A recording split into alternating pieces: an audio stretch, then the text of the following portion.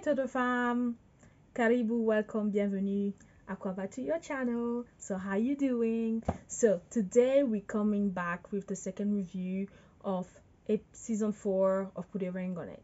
So the show picks up where it left off last week, which was um, at the gathering with Dr. Nicole, and then we were talking about the result of Shay um, date, and then she walked off because she was expressing how she felt, and Fonzo was still laughing about it, which is a partner. So we don't know. I don't know if he was laughing because he was embarrassed or because he was um upset or just because he didn't care you know because people laugh they have like that laugh for different reasons okay so she put herself together where she was she calmed down and then she came back and then basically what everything that dr Nicole said is pretty much very close to the analysis that i made from my review of the first episode last week.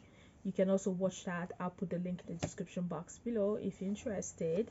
And yeah pretty much he doesn't want his dirty laundry to be aired out there. But i'm thinking you're on a show so you must know that this is gonna be this is going to be public right? This is gonna be public knowledge. This is going to be for everybody to talk about. Like everybody can have an opinion if you don't want that then you shouldn't be on the show you know simple as then we move on to the second couple which is the athletic couple otis and charlana so otis and charlana the feedback from where she came back from a date with Meta, the Namibian guy, is that Otis was really extremely obsessed, uh, upset. Like he was very, he was so mean that he was bordering on rude. You know, it, the comment that she didn't like that she mentioned was that he kept referring to her that she was dirty, not because she came back from a sweaty athletic date, but because of the fact that she just went on a date and that she had a good time and then she accepted flowers from from another guy so that made her dirty and then she was quite upset about it because it made her feel like it made her feel embarrassed and kind of like she was being put down and when they asked him when dr nico asked him about it he denied it it was like no it wasn't in that sense it was it was just in a in a in a platonic sense of that she just came back she was sweaty he wanted her to take a shower but we both got it that it wasn't because of that. What a liar, right? So he denied it, of course. And then Dr. Nico recognizes the fact that he is overly possessive. You know, if you have a partner that is overly possessive, it's not healthy, but it's also dangerous for you because those are the partners that tomorrow they turn into uh my, my for my man or fatal attraction, you know, those kind of things. So you need to watch out, you know. The last couple, which is the the cute opposite attract couple for me, is Shorty, Mark, and Kenneth. Shorty and Kenneth. So we already know how he felt last week when she came back from the date. He was not having it at all, you know, and he started to act the way he usually act, like a kid throwing tantrums, throwing his toys out of the pram. He was very upset. They had an argument about it.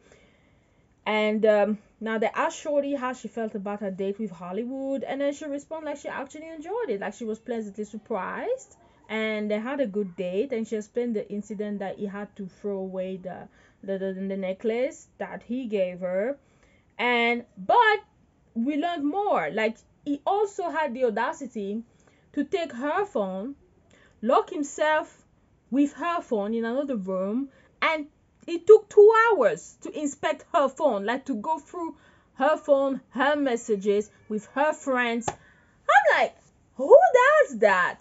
Only to give it to her two hours to give it to her two hours later like this guy he has serious serious insecurities trust childish issues and I thought that was the top of the top of the like the top of the icing for me. Like that was the worst of the worst for me. But I find out something else later. Let's carry on. So when he was confronted about it by Dr. Nicole, he says well he didn't he didn't really say much. He didn't really acknowledge anything. He didn't really deny anything. He was just sitting at her like and the way he was looking at her like up and down like you can clearly see he was mad. He was clearly upset about the whole thing. It's almost like he doesn't want to be here anymore. He doesn't want to do this because I think he's starting to feel already that he's losing her. That he's definitely going to lose her to someone else because especially if he carries on this behavior, it's just not going to work. So, this is the thought that Dr. Nicole gave him. She told him to to recognize to recognize his fault. That's what she told him to do, if I'm not mistaken. And the lesson that she gave for the week is those these couples they need mutual understanding. So they need to each other, each part of them, they need to hear their feelings and they need to recognize it. So they can have mutual understanding and move forward.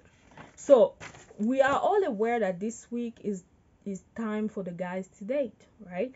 But before we get on to the date, they showed an argument, another argument that Kenneth and Shorty were having in a car. And that argument carried on all the way home till where they were about to go to bed. So I don't know if it's the editing, but it seems like it carried on for a long time. Because when they left that place Dr. Nicole, it was daytime. They were driving, I don't know how far they live from the place. They drove all the way with this argument. They got home with this argument. They went to bed with this argument. And what was the argument about? Well, when she got her phone back, she realized other things that he was doing on her phone. Apparently, he, take a, he took a screenshot of her financial details and he sent it to himself. I mean, I was just like, what? Who does that? If that was me personally, I would be over with this relationship like right now. Like you don't do this like you don't play with my money. I would be out of there right now. Like and then the next day at the minute I will call my bank, cancel everything, and the next day I'll be out there to the bank to make sure everything is canceled, order new cards, new credit cards, new pins, change my passwords. Like I'll be doing everything, everything, everything because this is over for me. Like it violates a privacy and it doesn't seem like it's the first time. Because when she asked he was like, Yeah, I was just being stupid again. I'm like, So you know that what you're doing is stupid, but you still do it anyway.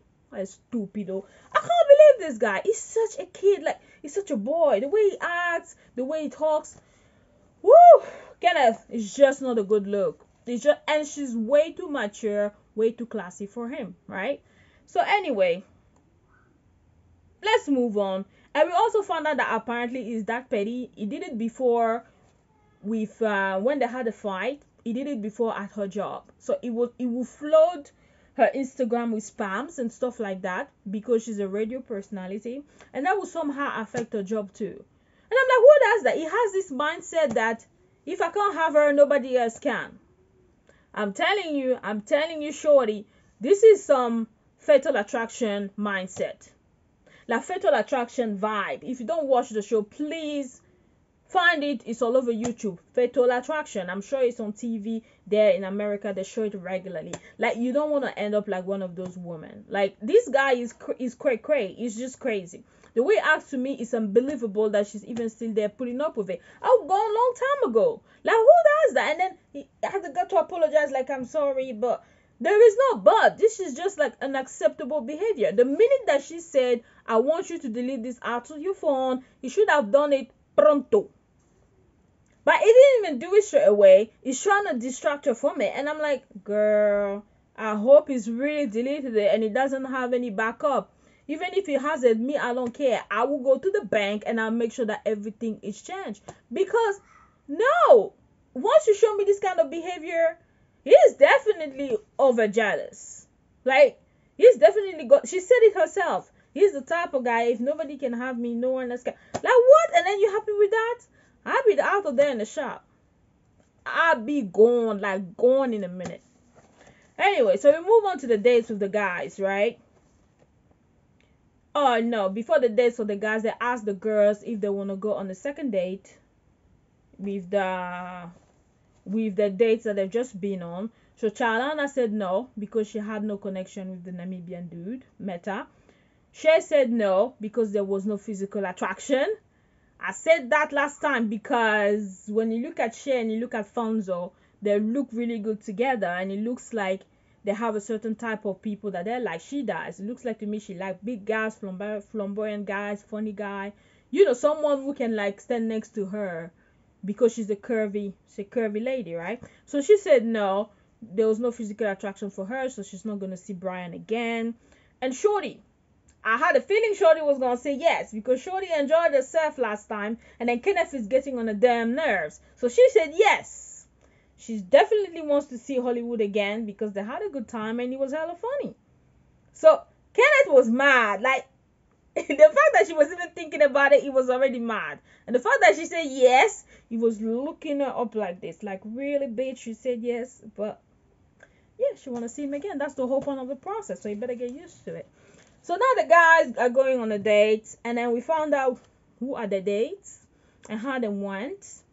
And some of them we found out their reaction at like Dr. Nicole, and some will carry on next week. So Otis, athletic couple, his date was Shiri. So they went on like they call it a cake and sip. So they went together to make a cake, I guess. When I saw Shiri, I was like, oh, cute girl the first thing I saw, I said when I saw her was um, dress smart, dress classy. It seemed to me like a like a classy chick because the way she dressed, it was like she was going at the office, like for an appointment. But at the same time, she looked cute. Like she didn't show any flesh at all. She was sexy but classy. Like you could see a curve through her clothes, but she wasn't showing any skin. No trashy at all. I love that about her. And then he, he first appreciated the way she was dressed, but after he made a comment like, you know, he would have loved to see more skin, which showed to me that this guy is very shallow. Like, he's very shallow. One, he seems to be very shallow. And two, he doesn't seem to be able to hold an intelligent conversation with an intelligent woman. He's one of those guy where me I call them empty barrels.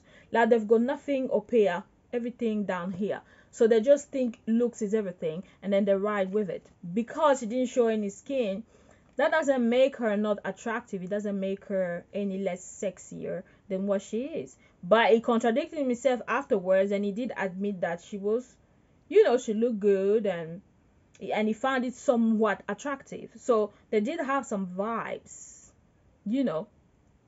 But they were both like they did have some vibes. The date was okay. It wasn't all that.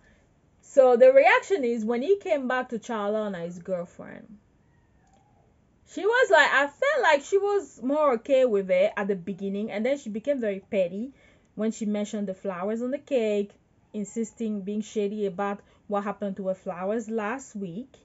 And then they got on the subject with boundaries, because at the beginning they did establish boundaries uh, there was like no kissing no touching like everything that has to do about respecting the other partner they should stick to it.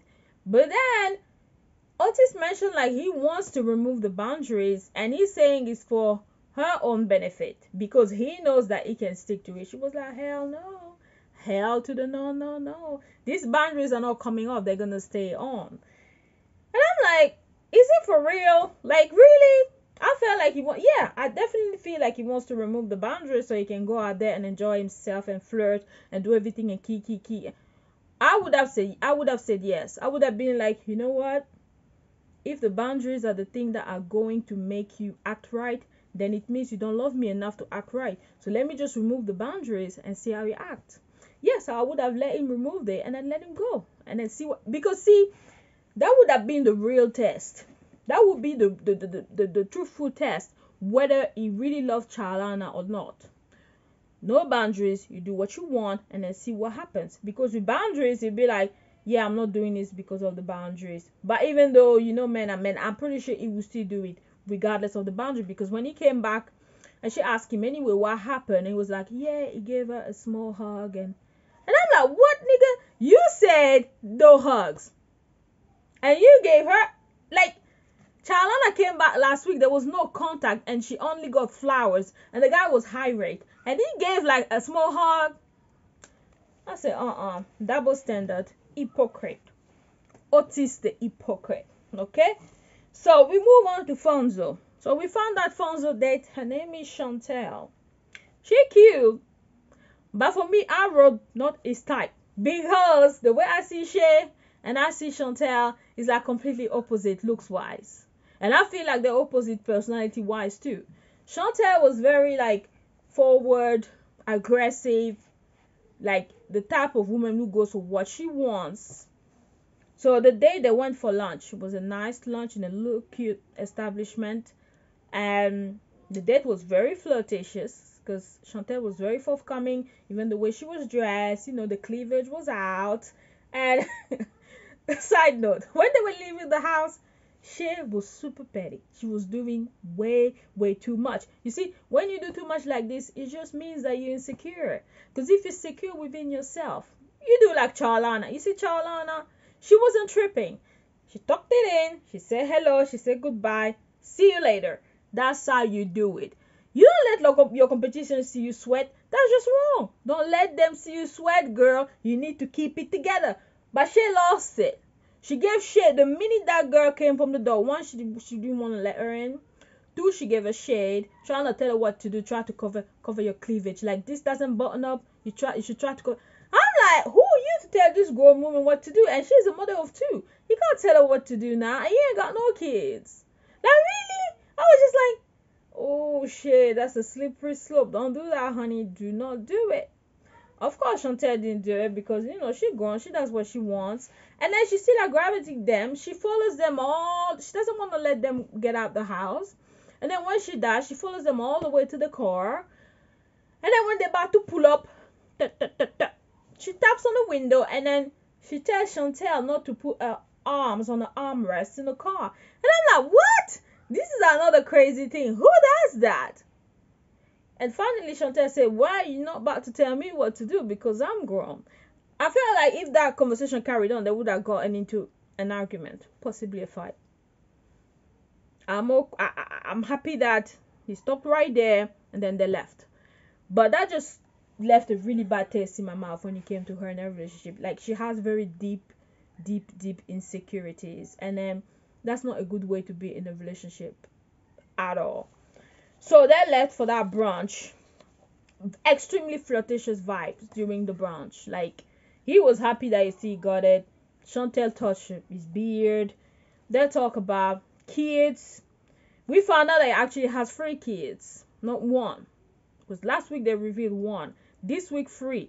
How many baby mamas has he got? I don't know. Mm, can someone tell me in the comment how many baby mamas has he got? Because he's got three kids. She got two and he's got a 20 year old which tell me he started having them pretty young right? And then she asked him if he wants more kid. At, at the beginning he said no he doesn't really want any more but he's open to reconsidering with the right person.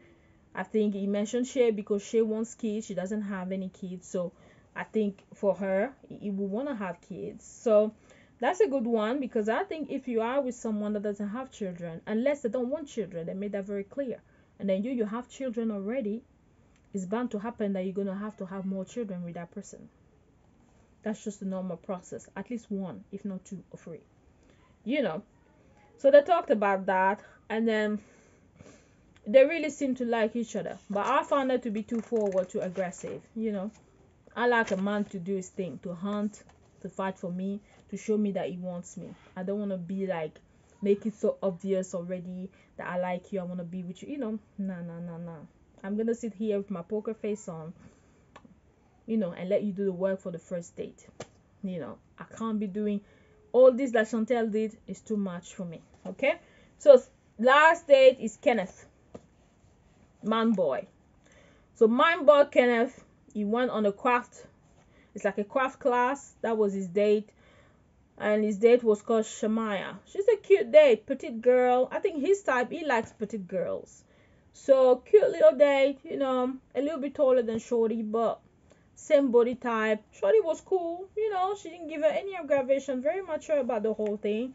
Kenneth was sitting there sulking like a kid, like he didn't want to go to the date. And the way he dressed was like, mm, where is he going? She dressed very athletic, sporty, and he's dressed like casual, smart. So I was really confused where they were going. I wanted to see. And then I'm okay, craft class, but I guess it works both ways if it's craft class. So, you know, it's not too bad. But by the way she was dressed, I thought they were going to do something sporty. And then when I saw him, like, no, it's nothing sporty. So anyway, I think the girl, she handled it very well. She was very kind, very open, nice. She was the one leading the conversation. You can tell he wasn't interested. He said it. He apologized for it, like his mind was on Shorty like he was still upset about the argument they had before, so he really didn't want to go on a date. But production was like, "Yeah, you going, nigga," because he signed up for this date, so you going. So anyway, he had to go. So if he was really uncomfortable, you know, but she was she was chill, she was chilling. And do I think he's going to see her again? No, I don't think so. Until he opens himself up to the process, I don't think he's gonna be enjoying himself on those dates and seeing other possibilities. So he really needs to put that in his head, like he signed up for the process. This is the process, so he just need to go along and enjoy it without being too disrespectful, you know. So it was very close, which I think was not fair on her. And if you if you you know you know you're gonna have to go anyway, so just try to make the best out of it, right? So for the feedback, I think this is the last scene. They go back to Dr. Nicole to see what's what, what's happened. We don't get the feedback for all this week because it kind of like always cuts after one feedback and then we have to catch the the rest next week. So we start with fonzo and shay. So fonzo was like he had a good date but of course it was giving flirty vibes to me like cheating vibes and you know she had to bring up her insecurities again. So from what she was saying it seems to me she's putting up with a lot just to be with him. He, he doesn't seem to be very faithful to her because she mentioned he was talking to some people on social media, some women, and then he's crossing her boundaries all the time. So, Shay, if you're not happy in this relationship and he has crossed your boundary more than once, that's too many times, you need to leave, girl. You don't need to be with this man, especially you don't have any children together. I don't know if you have a mortgage together, but you don't have kids together. So it's easier for you to leave, you know. The longer you stay in, the, in a bad relationship, the harder it is to leave. And this guy, it doesn't seem like he really wants to be with her like that, like that serious. You know, he, he's already had a full life. Like he has three kids. He has baby mama or baby mamas. I don't know how many he's got. He's not even serious about introducing her to his family. I said, what is it that we're doing? You know? Uh, oh God, I just don't. This man, what did what is he? What she putting her through? I don't know. So prediction. Let's do the prediction for next week for those dates. So I'm sure when they're gonna ask Fonzo if he will want to go for a second date with Chantel, and my prediction is he's going to say yes because he really enjoyed himself. They had good vibes, something going on between the two, and I'm sure he wants to take this further. So I think he's going to say yes. For Otis and his date, I think he will also say yes. For some reason, I feel like he's gonna feel like, yeah, I want to see more from this girl because she's smart, she's intelligent, she's classy. So he will want to see his sexy, her sexy party side. So I think he's going to say yes. Plus, he wants to see some more flesh from her. Maybe next time she's gonna come and then show more cleavage or legs. I don't know. It's up to her. But I have a feeling is going to say yes that he want to see Miss Sheree again. And Kenneth, so Kenneth, I think uh, he's definitely going to say no to the date if he's still in that sulky mode. But if he has time to think about it, he will say yes just to give her a second chance to redeem himself so that he can have a better experience with that girl next time. So that's it for episode 2. We see how it goes. How did you find this episode? For me, things haven't kicked off yet, so I found it like the first episode standard of what we watch on the show. Let me know what you think in the comment section below. Don't forget to watch uh, the review of the first episode. It's also below. I'll put the link. Don't forget to like, comment, share, subscribe. And thank you for rocking me from the beginning. And if you're new to the channel, don't forget to hit that bell so you know what's up next time. Alright, fam. I'll see you next week. Okay. Bye.